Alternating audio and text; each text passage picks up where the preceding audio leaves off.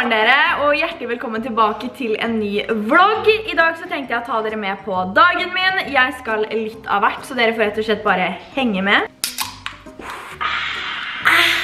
Jeg tenkte nå å lage pannekaker, fordi at jeg har fått tilsendt en oppskrift. Prøv da. Jeg har i hvert fall fått tilsendt en oppskrift. Tenkte nå å prøve å lage den pannekakene. Jeg er jo veldig glad i å lage frokostpannekaker, hva faen? Sorry, det er, jeg har gått i koma liksom. Det her er jo akkurat de pannekakene jeg lager da, en rass. Er det? Ja, det var bare en oppskrift du fikk der penere mens. Så jeg skal da lage frokost. Døgnrytmen er helt jævlig, så klokka er halv tre. Nei, er den det? Og jeg og Helene lager frokost nå. Nei, nei, nei, dette er pinlig. Kan jeg si noe før du legger på? Det skjer aldri. That's a big fat lie. Nei, det skjer aldri, Jeg var et A-menneske. Stå opp halv åtte eller sju hver eneste dag. Kan du bekrefte det? Jeg kan bekrefte det. Ja, hva faen har skjedd? Du har blitt påvirket av meg. Det er det som har er Men jeg har faktisk, og det skal jeg snakke litt om i denne vloggen her, det har dere sikkert skjønt ved hjelp av artikkelen også. Jeg har hatt søvnproblemer for a long fucking while, og jeg har nå funnet ut hvorfor jeg har hatt søvnproblemer. Det skal vi snakke litt om i dag, men først frokost. Nei, du har ikke noen unnskyldning. Velkommen til min kokkeskole. Jeg har funnet frem oppskriften nå. Sliter allerede. Neida. Røra er ferdig, dere. Jeg putta jo som sagt ikke oppi banan, som det sto i oppskriften, men jeg putta i stedet for oppi litt chiafrø, fordi det er jo bra, digg og sunt. Og oppi her så har jeg putta kokosolje, som du får kjøpt på Coop eller Helsekosten eller sånne ting. Så snakk om Masterchef Victoria Skau, liksom. Hei, hei, hei. Hva skjer? Material, eller? om du gjør. Da er det ferdig, dere. Det ble jo greit volum på disse pannekakene. De ser jo nydelige ut, for å si det sånn. Jeg tenker å kjøre på med litt peanøttsmør på disse pannekakene. Herregud. I'm impressed.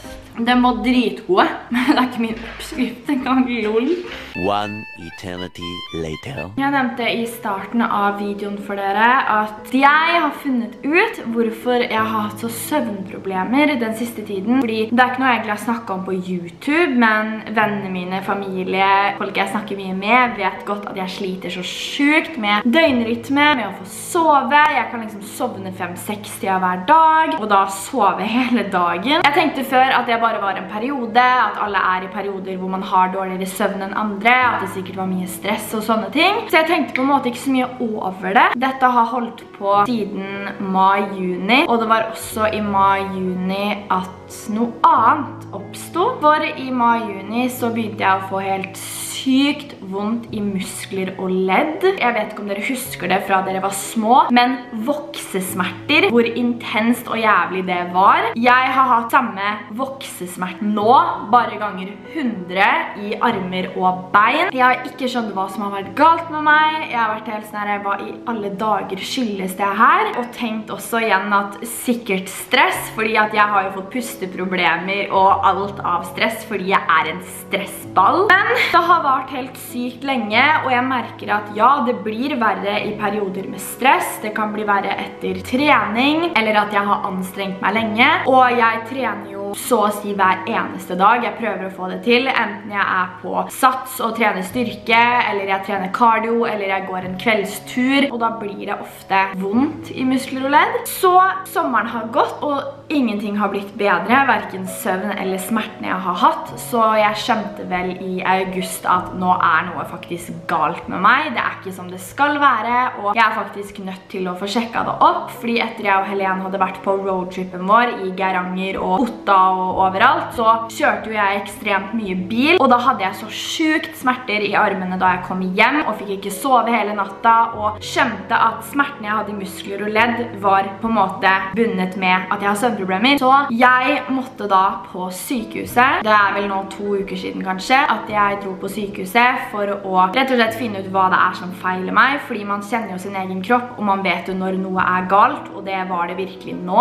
Og man skal jo ikke gå rundt og føle på smerter enten det er i mage eller i eh, at man har vondt i hodet eller sånne ting. Det er kjempeslitsomt, og det skal ikke være sånn. Uka før jeg dro på sykehuset, så hadde jeg ligget og lest litt som den Google-leseren jeg er, og prøvde å finne ut hva som feilte meg. Jeg prøvde å matche opp symptomer, sånne ting, og liksom ingenting eh, matcha før jeg kom over en sykdom. Så jeg dro da til en reumatolog, altså en spesialist på sykehuset som skulle undersøke meg. Så jeg kom inn, fortalte alt av symptomer, hvordan jeg har det, hva som er galt. Og hun liksom sitter og noterer og sånne ting. Og så skal hun da begynne å trykke på visse trykkpunkter på kroppen min. Så hun trykket liksom i nakken, ved albuene, ved knærne og sånne ting. Over rygg og lår og alt. Og jeg fikk skikkelig, skikkelig vondt. Og hun spurte liksom hvor er det smerten kommer fra spesifikt. Og jeg sa jeg aner ikke, jeg kan ikke svare på det, fordi smerten er så intens og så kraftig at det stråler utover alt på en måte. Så jeg vet ikke hvor liksom det starter og oppstår. Hun fortsatte å trykke og gjøre masse research, lalalala, og så sa hun bare til meg på slutten at du har gjort researchen din godt, fordi at det ser ut til at du har noe som heter fibromyalgi. Så jeg har da 99,999% sikkert en da sykdom som heter fibromyalgi, som er da en muskel- og leddsykdom. På den er det ingen medisin, det er ingen kur, det er da kronisk, og jeg, da, jeg kommer da til å ha det livet ut. Hun sa at det mest sannsynlig er det. Vi må ta blodprøver, og vi må ta MR-bilder for å liksom slå sort på hvitt at det er det det er. Fordi fibromyalgi slår ikke ut på blodprøver, og de slår ikke ut på MR-bilder. Men om alt annet da ser fint ut, så er det fibromyalgi det er. Og jeg fikk i dag tilbake blodprøvene mine, som var 100% fine. Noe som vil si at det da er enda et steg nærmere fibromyalgi. Jeg skal til MR-undersøkelse og ta bilder i oktober. Og om de da ser fine ut, så er det da fastslått at det er det jeg har. Så jeg søkte opp fibromyalgi nå for å gi dere en liten forklaring her på Google, hvor det da er fibromyalgi betegnet som et smertesyndrom. Og det står at det er kronisk symmetrisk muskelsmerte. Tilstanden blir ofte verre om man har perioder med mye stress eller sånne ting. Det påvirker bindevev, muskler, leddbånd og sener, og at årsaken til fibromyalgi er ukjent. Men en forklaring på smertene kan være at hjernen er aktivert slik at smerter oppleves sterkere i forhold til det som er normalt. Og smertesignaler fra muskulatur og senevev oppfattes da som sterkere enn når hjernen ikke er så følsom. Så det skal jeg være ærlig og innrømme at var en skikkelig drittnyhet å få. Jeg synes det var jævlig kjipt. Og bare så det er sagt, fibromyalgi er ikke noe farlig, det er ikke noe smittsomt. Jeg føler man må si det nå i koronatider at det er ikke smittsomt, men det er jo noe da i muskler og ledd. Ja, det er noe jeg kommer til å ha livet ut. Og det finnes ingen kur på det, men det finnes garantert ting som kan gjøre det enklere. Så etter jeg har vært og tatt MR-bilder, så skal jeg til diakonhjemmet for utredning på hva jeg kan gjøre for at smertene mine skal bli bedre. Fordi jeg har skikkelig mye smerter, og det er dritslitsomt, og smertene er grunnen til at jeg ikke får sove om natta, fordi at jeg ligger våken og har så vondt, og jeg har nå fått masse medisiner jeg skal ta, og alt sånt der. Og grunnen til at jeg egentlig deler det her, er fordi at jeg har lyst til å dele så mye som mulig med dere, fordi noe av det jeg får mest mulig meldinger og kommentarer om, er at det virker som jeg kun har solskinnsdager, at jeg kun har det bra, at livet mitt er perfekt, at ingenting skjer med meg. Ja, livet er så bra som det overhodet kan få blitt, men det stemmer jo ikke. Livet mitt er jo ikke perfekt. Livet skjer som det skjer med alle andre, og det er det viktig å vise for meg, sånn at dere kan relatere dere til meg, sånn at vi kan stå sammen om ting som er dritt og kjipt, og liksom, ja, vise at jeg har veldig tøffe perioder. Den dagen jeg fikk beskjeden, så husker jeg bare ringte Helene og begynte å gråte, fordi jeg ble så lei meg. Årsaken til fibromyalgi er jo ukjent, men jeg har jo revmatiske sykdommer genetisk. Mamma har jo hatt leddgikt i alle år, så det gir jo mening, men samtidig så blir jeg sånn, fader, faen, liksom. Og så vet jeg at grunnen til at jeg fikk det er fordi jeg har hatt en infeksjon. Jeg har hatt en infeksjon siden februar i år, og den infeksjonen var så kraftig at den trigget det som allerede lå der genetisk, da, på en måte. Så jeg er heldigvis kvitt den infeksjonen nå, men nå har jeg jo da fibromyalgi og må lære meg å leve med det. Jeg skal bare fortsette å trene, jeg skal fortsette å smile, fordi det kunne vært så utrolig mye verre, og jeg er kjempeglad for at det ikke er farlig, at det ikke er smittsomt, at det ikke... Kommer til å gå bra, og det kommer til å ordne seg, men som dere ser, livet skjer for meg også, og jeg beholder den positive innstillingen, og er helt sikker på at dette kommer til å ordne seg veldig, veldig fint. Jeg er glad for at blodprøvene kom tilbake positive, og skal selvfølgelig ta dere med på resten med MR-bilder og forklare og gi dere oppdateringer på alt sånn her. Men dette var egentlig bare en liten life update på hva som har skjedd med meg den siste tida, og som har preget litt humøret mitt, og ja, litt sånn der. Men jeg er veldig glad for å ha funnet ut hva som er feil med meg, og at det ikke var noe annet galt. Nok om det, jeg ville komme med en oppdatering oppdatering, så dere henger med i løpet på hva som skjer i mitt liv og sånne ting. Nå er klokka faktisk blitt halv fire, og jeg skal komme meg bare ned til Splay-kontoret for å møte Sandra, fordi vi skal ha nok en workshop. Så tenkte jeg bare at resten i dag så skal jeg svare på litt spørsmål og sånn, fordi jeg har fått inn en del spørsmål på Instagram, og bare ta dere med på resten av denne vloggen. I get so caught up in the middle Thinking of drowning in those blue eyes I'm losing sight cause I am falling. I'm so deep down deep er en kul transition. Bam. Uh, Ble det fett, Tore? Jeg tror det. Takk.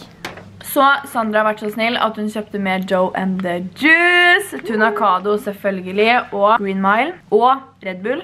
Enda en i dag, skål for det. Mm. Jeg har fått en helt sykt mange spørsmål om håret mitt. Jeg hadde jo som sagt en Instagram Q&A hvor så å si over halvparten av spørsmålene var om håret mitt, om jeg fiksa det, farga det, klippa det i det siste. Og det har jeg. Jeg er i et samarbeid med Meraki Studio. Eneste frisørsalongen jeg går til er dødsfornøyd, og jeg var der for eh, en uke siden og fiksa håret mitt hos Matilda, som er verdens flinkeste. Så jeg tenkte nå at mens jeg og Sandra sitter og jobber litt, så kan jeg jo vise dere noen av klippene fra da jeg ordnet håret mitt.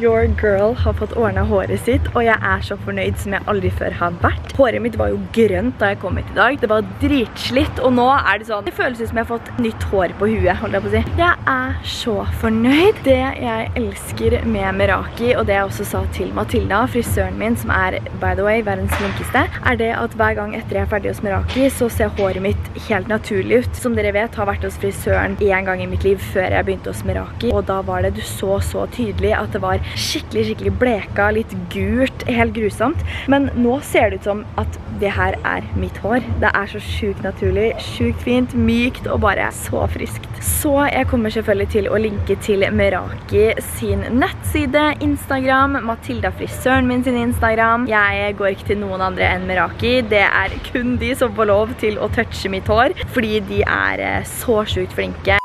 Så etter en lang, god arbeidsøkt, altså se, kontoret er helt tomt. Jeg er her, jeg også. Ja, jeg er her, jeg også. Du har ikke filmet meg i dag. Selv. Nei, det er sant. Men jeg er her.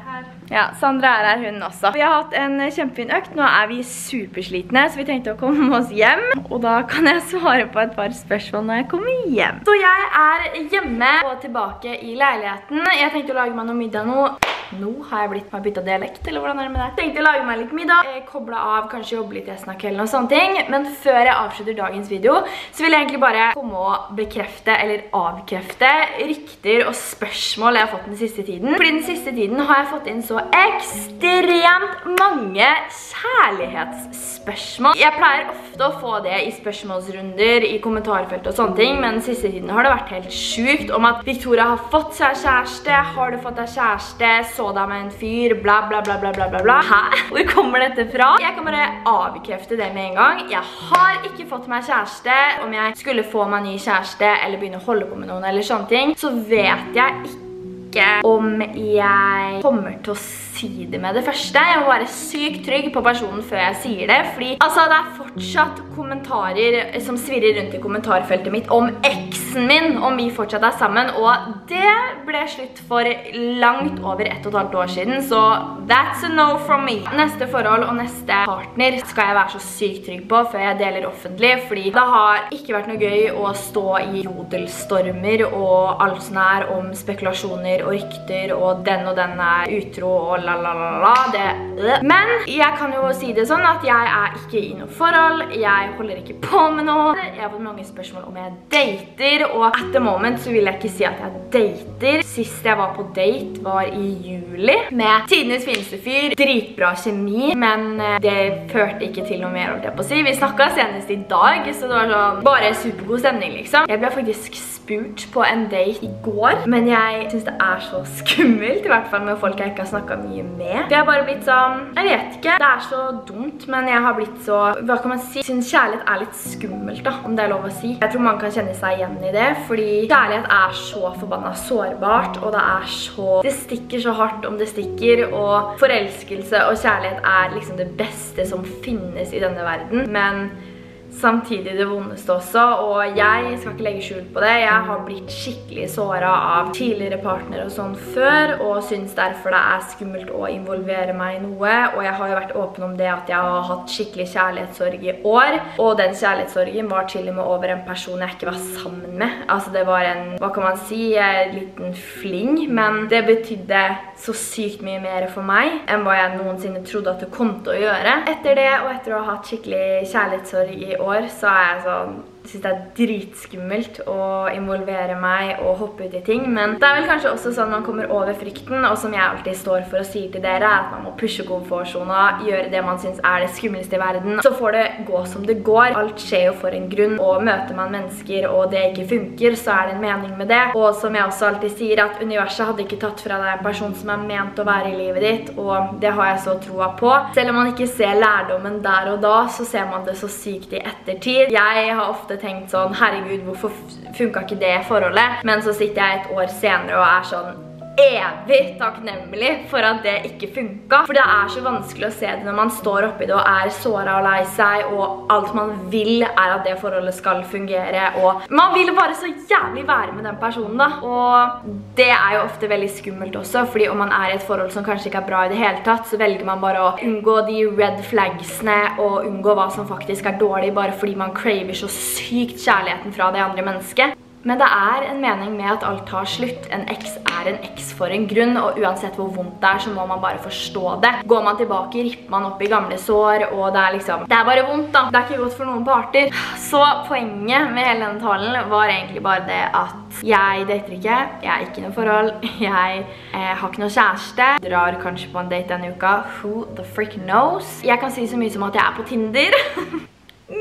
Jeg har lastet ned Tinder for første gang på flere måneder. Jeg måtte bare ta en pause, komme meg vekk fra det, ikke ha fokus på at å, nå skal jeg finne meg noen, eller nå skal jeg date. Det jeg liker best er jo når ting bare skjer, sånn, sånn som er det mennesket som inviterte meg på date, da, at det bare skjedde så sjukt ut av det blå. Og hvem vet, kanskje jeg drar på den daten, kanskje ikke. Men det er mye morsommere enn å lete og være desperat. Fordi jeg vet den følelsen av å være desperat etter kjærlighet og crave kjærlighet.